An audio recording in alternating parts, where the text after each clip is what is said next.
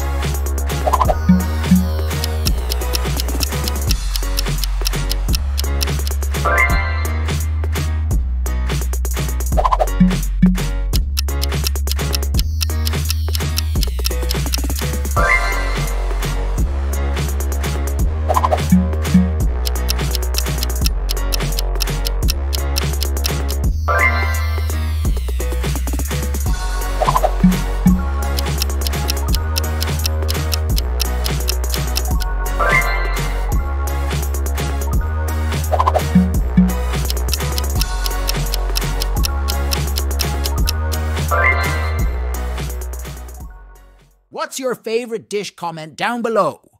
Don't forget to hit the like button and subscribe.